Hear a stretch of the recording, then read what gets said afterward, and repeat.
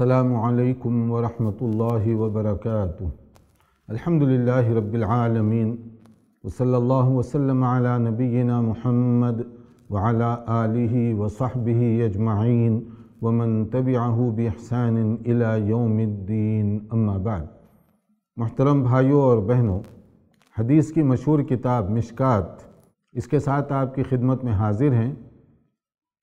اور ہماری جیسے اس سے پہلے ہم بتا چکے ہیں، کوشش ہے کہ اس کتاب کا ترتیب کے ساتھ مطالعہ اور اس کا خلاصہ آپ کے سامنے رکھا جائے کہ ہر باب میں کیا احکام اور مسائل بیان کیے گئے ہیں تاکہ ہم زندگی میں پیش آنے والے مختلف مسائل قرآن و سنت کی روشنی میں حل کر سکیں۔ یہی دنیا اور آخرت کی کامیابی اور نجات کی چیز ہے کہ جو آدمی قرآن و سنت پر عمل کرے، دنیا بھی اس کی اچھی گزرے گی۔ اور آخرت میں نجات اور کامیابی بھی اسی شخص کے لیے ہوگی۔ اس وقت جو ہمارے سامنے چیپٹر ہے، وہ عیدین کے متعلق ہیں یعنی اس میں عیدین کے مسائل اور احکام اس کا خلاصہ پیش کیا گیا ہے۔ کوشش کی جائے گی کہ ہمارے پاس جتنا وقت ہوتا ہے، اس میں اختصار کے ساتھ بہت ساری احادیث کا خلاصہ آپ کے سامنے رکھ دیا جائے۔ سب سے پہلے دیکھیے کہ خوشی کا دن یہ انسانی فطرت میں ہے۔ ہر دور میں لوگ اپنے اپنے حساب سے خوشی اور مسرت کے لیے کچھ دن اور کچھ تہوار مقرر کر رکھے تھے۔ اور ابھی بھی مختلف جگہوں پر یہ ہوتا ہے۔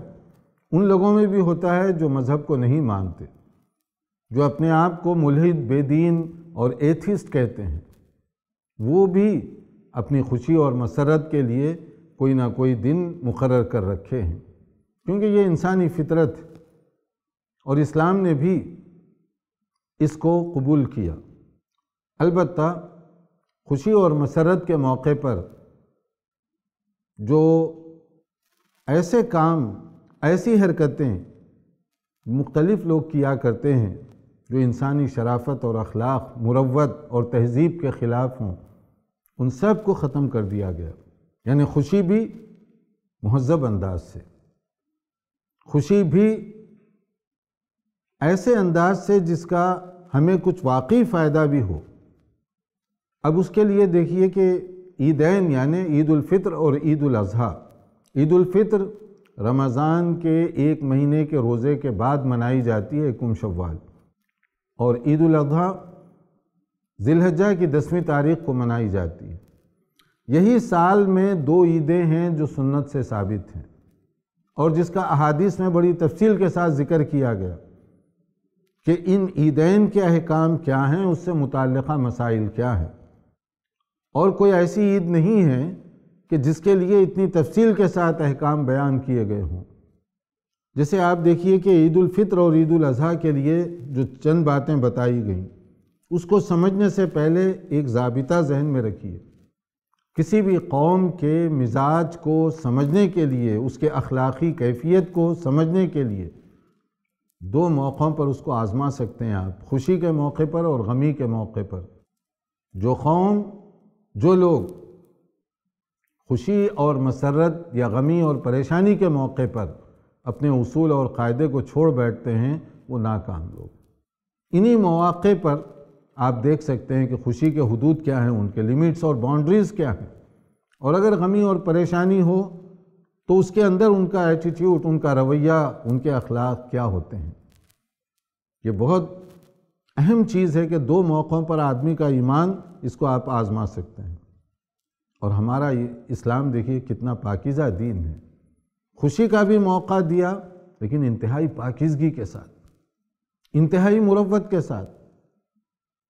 عید الفطر کے موقع پر ہم جب عید کے لیے، عید کی نماز کے لیے جاتے ہیں، تو اس سے پہلے یہ حکم دیا گیا، غریب، مسکین اور محتاجوں کے لیے فطرانہ ادا کرو۔ تو صدقہ فطر کیا ہے اصل میں؟ طہرتا للصائم من اللغو والرفث وطعمتا للمساکین۔ کہ روزے میں جو لغزشیں، خطائیں ہوتی ہیں، اللہ تعالیٰ اس کی وجہ سے اس کو معاف فرما دیتے ہیں۔ ہمارا فائدہ۔ اور مسکینوں کو اس دن بھیک مانگنے کی ضرورت نہ پیش آئے۔ وہ بھی اپنے آپ کو سماج کا ایک حصہ سمجھیں، معزز حصہ۔ کہ وہ بھی خوشی میں شامل ہوں اور خوشی منائیں وہ۔ اور اس کے لیے بھی ایک اصول بتایا گیا کہ عید الفطر میں نماز سے پہلے پہلے غریب تک وہ پہنچا دیا جائے۔ فمن ادہ قبل الصلاۃ فہیہ زکوٰۃ مقبولہ ومن ادہ بعد الصلاۃ فہیہ صدقۃ من الصدقات کہ کوئی آدمی نماز عید سے پہلے فطرانہ غریب تک پہنچا دیتا ہے تو وہی فطرانہ سمجھا جائے گا۔ اور اگر نماز کے بعد کوئی چیز دی جاتی ہے تو وہ صدقہ فطر نہیں، عام صدقہ سمجھا جائے گا۔ فطرانے کا ٹائم ختم ہو چکا۔ تو وہ لوگ جو جمع کرتے ہیں فطرانہ مساجد میں یا ذمہ داران جماعتوں کے انجمنوں کے انہیں اس مسئلے پر چوکنا رہنا چاہیے کہ فطرانہ جمع کریں، پھر غریب کو پہنچائیے۔ ہنڈریڈ پرسنٹ یہ غریب کا حق ہے۔ اس پہ آپ انتظامی اخراجات فلاں فلاں کے نام پر کٹوتی نہ کیجیے۔ یہ غریب کا امیڈیٹ حق ہے اور اس تک پہنچنا چاہیے عید کی نماز سے پہلے۔ اگر یہ آپ کے پاس تیاری ہے، اس کا آپ اہتمام کر سکتے ہیں تو کیجیے۔ پھر اس میں یہ بھی بتایا گیا ایک سا ایک سا چار مد کا ہوتا ہے۔ چار مد جیسے چار جگ سمجھ لیجیے یہ مدینہ منورہ وغیرہ میں استعمال میں بھی آنے والی چیز تھی اور ناپ تول کے لیے بھی یہ اس کو استعمال کیا کرتے پیمانہ۔ اور یہ اگر تولا جائے چار جگ، ایک سا، یہ تقریباً پونے تین کلو سے کچھ کم بنتا ہے۔ احتیاطاً سمجھ لیجیے کہ پونے تین کلو۔ کوئی بھی اناج جس علاقے میں آپ رہتے ہوں، اس علاقے کی جو عام غذا ہے، چاول بھی ہو سکتا ہے، گیہوں بھی ہو سکتی ہے، یا جہاں پر کھجور کا کھانے کا نظم ہے، کشمش وغیرہ، یہ چیزیں بھی ہو سکتی ہیں تاکہ غریب کو زیادہ سے زیادہ فائدہ پہنچ سکے۔ یہ ہے فطرانہ۔ اور کس کی طرف سے یہ دیا جائے گا؟ گھر کے تمام افراد کی طرف سے۔ چاہے وہ روزہ رکھیں یا نہ رکھیں، مرد ہوں، عورت ہوں، بڑے ہوں، بچے ہوں، سب کی طرف سے عید کی نماز سے پہلے پہلے اس کو ادا کرنا ہوگا۔ یہ مصنون طریقہ ہے۔ لیکن اس میں میں جو بات بتا رہا ہوں، صدقہ اور خیرات کا ذکر ایک اور چیپٹر میں بھی آگے آئے گا انشاءاللہ۔ لیکن اس سے پہلے یہ صرف جزوی باتیں کہ عید کا تصور کتنا اعلیٰ اور کتنا پاکیزہ ہے۔ کہ رمضان میں ہم عید کے لیے جانے سے پہلے غریب کا انتظام کر کے جاتے ہیں۔ کہ آج خوشی کا دن ہے؟ ہم اپنے بچوں کے ساتھ مسرور اور شادمان زندگی گزاریں شاداں اور فرحاں رہیں۔ کہیں ایسا نہ ہو کہ غریب بھوکوں مر رہا ہو۔ پہلے اس کا خیال رکھو۔ تو اس کو دیتے ہیں ہم پہلے۔ بقرعید کے موقع پر ہم کچھ کھا پی کر نہیں جاتے۔ رمضان میں جیسے کھجور کھا کر ہم جاتے ہیں، عیدگاہ بقرعید میں کچھ بھی نہیں کھاتے۔ کھائے پیے بغیر ہم جاتے ہیں، قربانی کے بعد تناول کرتے ہیں۔ اسی طرح سے قربانی کے گوشت کا ایک حصہ اس میں بھی غریب کا ہے۔ اس تک بھی وہ پہنچنا چاہیے۔ تو بقرعید میں بھی غریب کا حصہ ہے اور رمضان کے موقع پر بھی عید الفطر میں بھی غریب کا ایک حصہ مقرر کیا گیا ہے۔ یہ شرافت اور اعلیٰ تہذیب کا ایک نمونہ ہے۔ کہ خوشی کے موقع پر مسرت اور شادمانی کے موقع پر ہم غریب، محتاج مسکینوں کو فراموش نہیں کرتے۔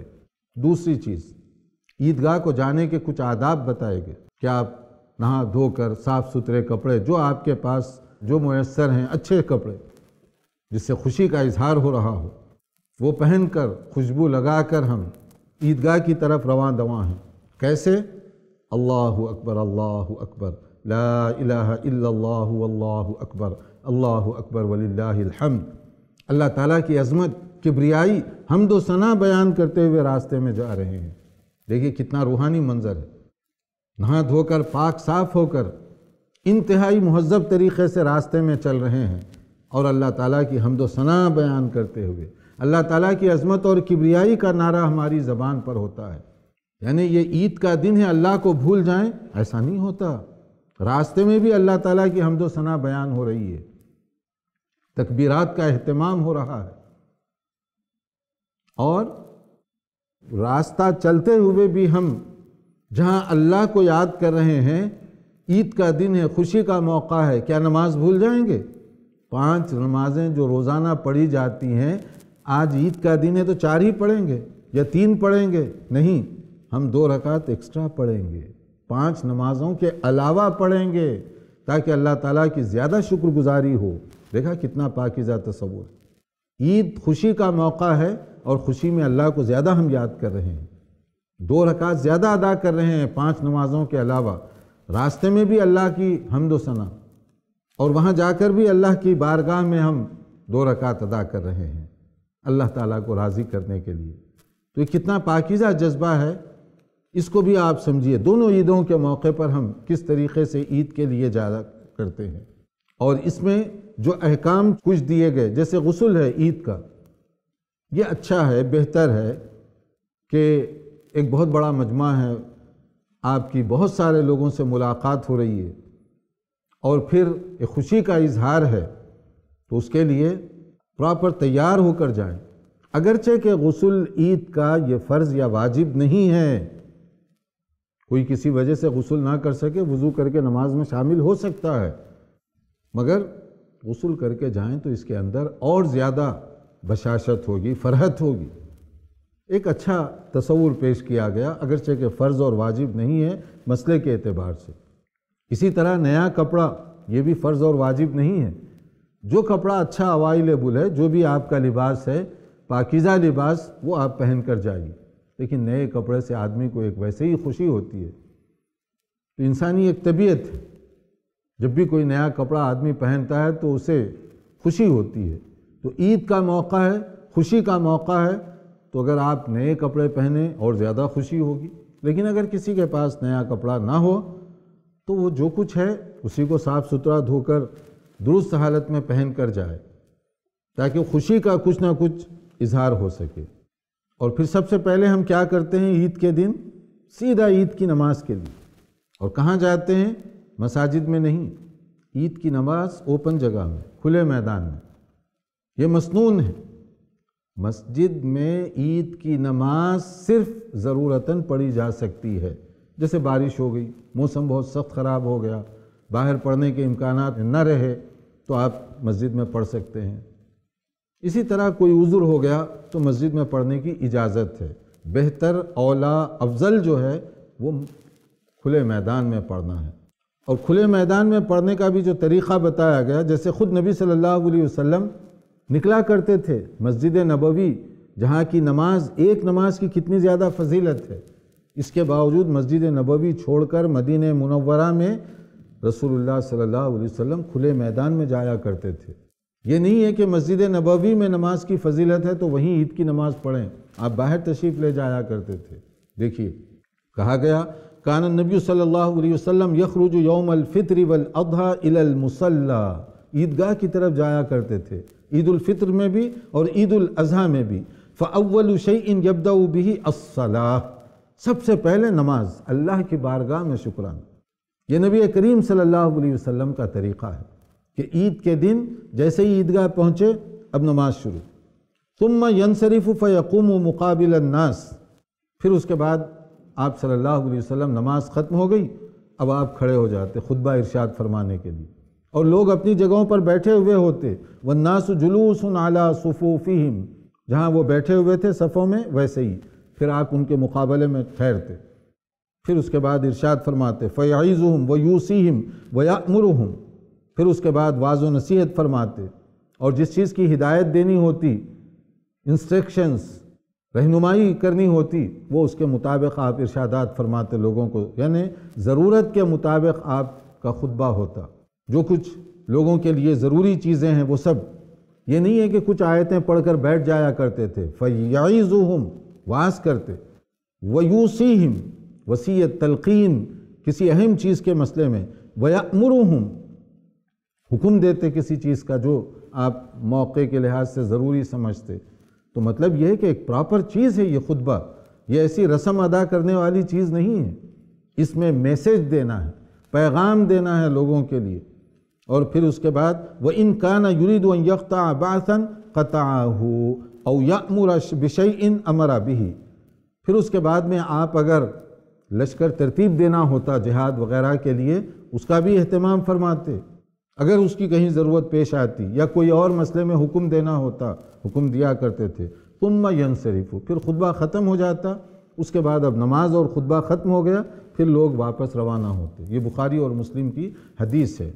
اور اس میں دیکھیے کہ جب آپ تشریف لے جاتے، تو وہاں پر کوئی اذاں کوئی اقامت نہیں ہوتی عید کے دن۔ عید کی نماز سے پہلے کوئی اقامت یا کوئی اذاں نہیں ہے۔ دیکھیے ان جابر ابن سمورہ رضی اللہ تعالیٰ عنہ قال، بہت مشہور صحابی ہیں جابر بن سمورہ رضی اللہ عنہ۔ فرماتے ہیں کہ میں نے صلیت مع رسول اللہ صلی اللہ علیہ وسلم عیدین غیر مرتن ولا مرتین۔ میں نے نبی صلی اللہ علیہ وسلم کے ساتھ کئی مرتبہ عیدین کی نماز ادا کی ہے۔ ایک دو بار نہیں، کئی بار ادا کی ہے۔ وہ اپنی وضاحت خود کر رہے ہیں۔ کئی بار مجھے موقع ملا عید کی نماز پڑھنے کا۔ کیسے؟ بغیر اذان ولا اقامت۔ کہ نہ وہاں اذان ہوئی اور نہ اقامت ہوئی۔ لوگ جمع ہو گئے، تکبیر شروع، اللہ اکبر۔ یہ صحیح مسلم کی حدیث ہے۔ اور اسی طرح سے پہلے نماز اور اس کے بعد میں خطبہ خطبہ عید۔ جمعہ میں جو ہوتا ہے، اس کے بالکل الٹا۔ جمعہ میں پہلے خطبہ ہوتا ہے، پھر نماز جمعہ کی۔ لیکن عیدین کے موقع پر پہلے نماز، پھر اس کے بعد میں خطبہ شروع ہوگا۔ جیسے حضرت عبداللہ ابن عمر رضی اللہ عنہما فرماتے ہیں کانا رسول اللہ صلی اللہ علیہ وسلم و ابو بکر و عمر یسلون العیدین قبل الخطبتی یہ بھی صحیح بخاری اور مسلم کے الفاظ ہیں کہ رسول اللہ صلی اللہ علیہ وسلم، ابو بکر رضی اللہ عنہ، عمر رضی اللہ تعالیٰ عنہ، یہ سب لوگ کیا کیا کرتے تھے؟ پہلے عیدین میں نماز ادا کرتے، اس کے بعد خطبہ دیا کرتے تھے۔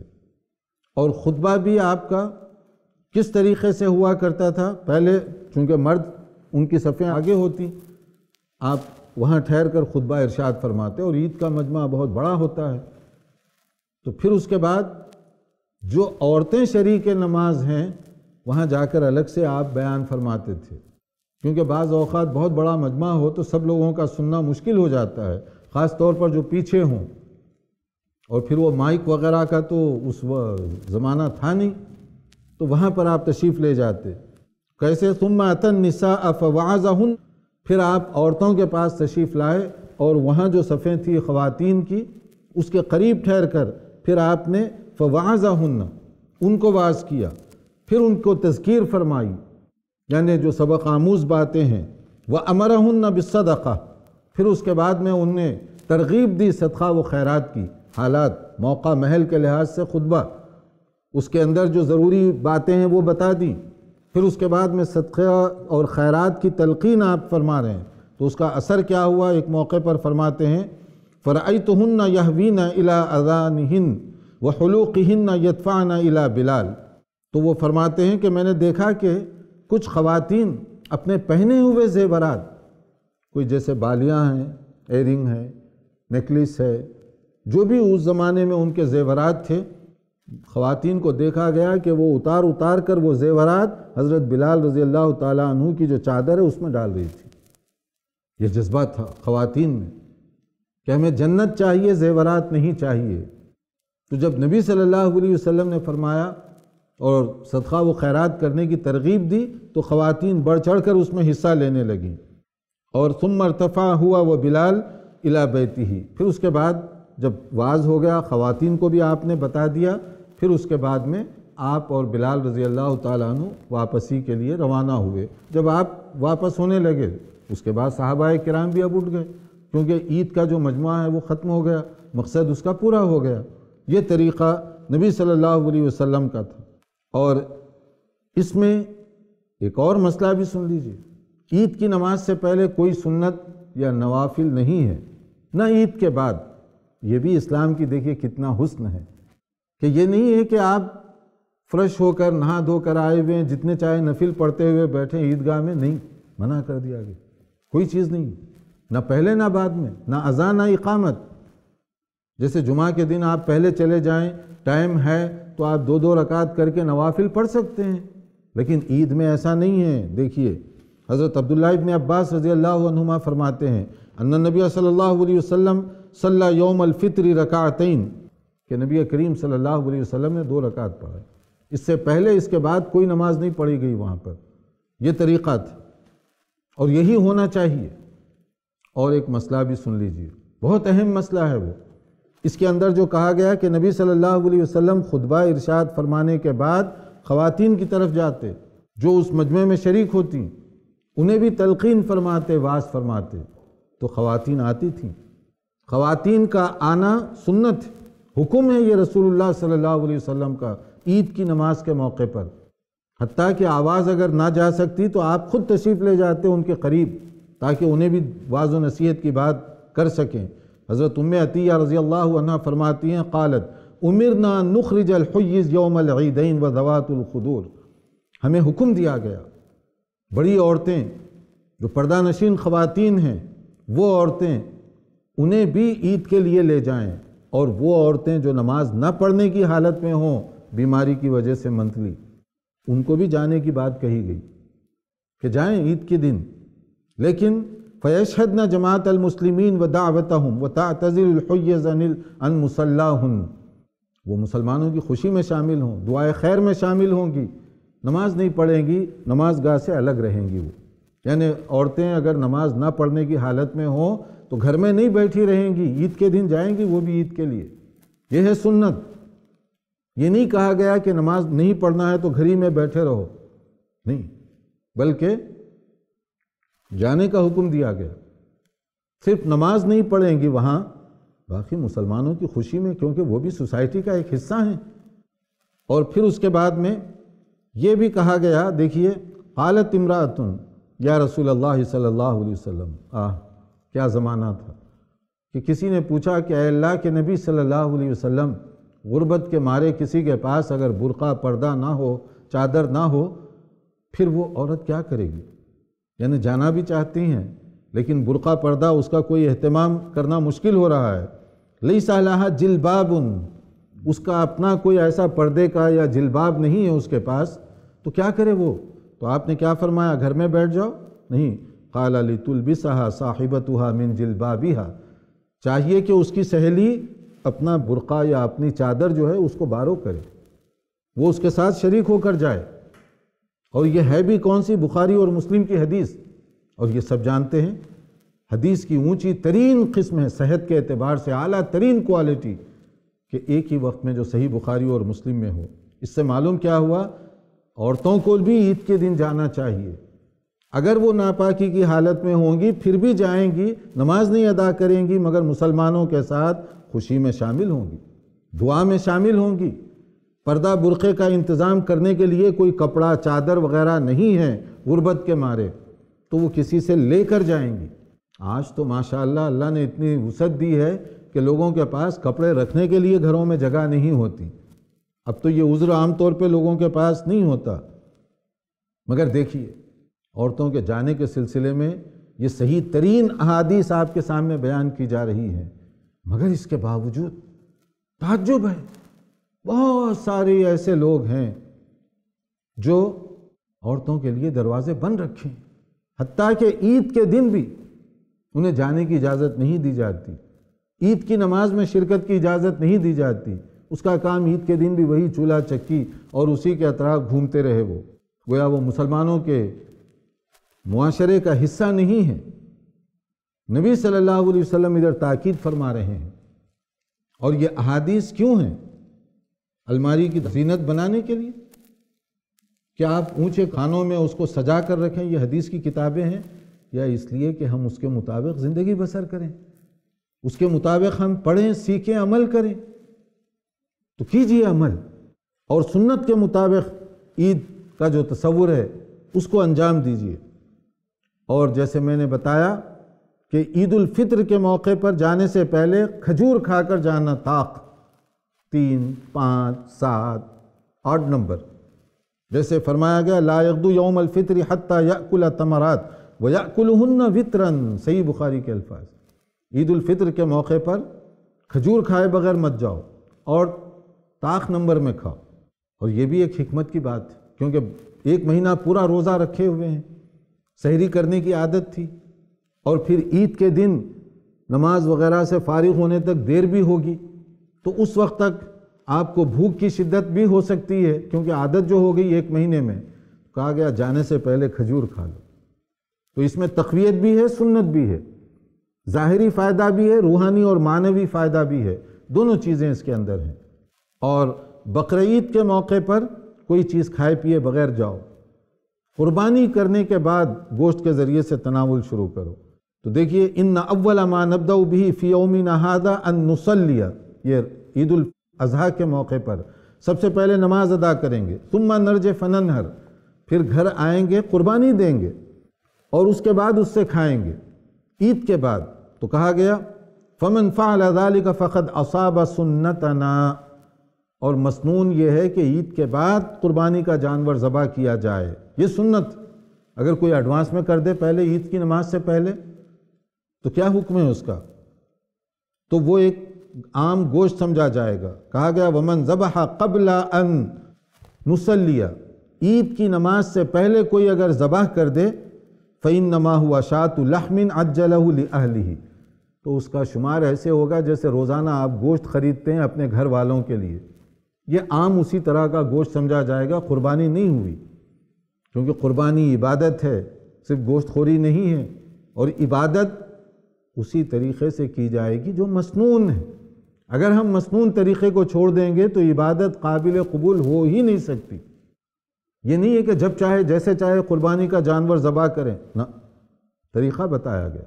عید کی نماز کے بعد قربانی کا جانور ذبح کیا جائے گا۔ اور کہا گیا وہ پہلے اگر کوئی کر دے، لیسا من نسکن فی شعی قربانی سے اس کا کوئی حصہ اس کو نہیں ملا۔ اس سلسلے میں اور کچھ باتیں ہیں، خاص طور پر بقرعید کے حوالے سے، قربانی کے حوالے سے اور ذی الحجے کی جو دس دن۔ اس تعلق سے کچھ اور باتیں انتظار کیجیے۔ ہمارے اگلے پروگرام کا انشاءاللہ تعالی مزید معلومات کے ساتھ حاضر ہوں گے۔ والسلام علیکم ورحمۃ اللہ وبرکاتہ۔